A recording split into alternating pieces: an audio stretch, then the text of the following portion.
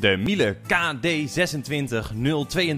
EDO is een vrijstaande RVS-look koelkast van 162 cm hoog en 60 cm breed. Onderin bevindt zich een vriesgedeelte. En daarboven het koelgedeelte, met een greep geïntegreerd in de deur. Het koelgedeelte heeft een inhoud van 210 liter. Bovenin zit het bedieningspaneel met touchscreen. Dankzij de LED-verlichting heeft u altijd helder zicht in de koelkast. De glazen draagplateaus zijn in hoogte verstelbaar.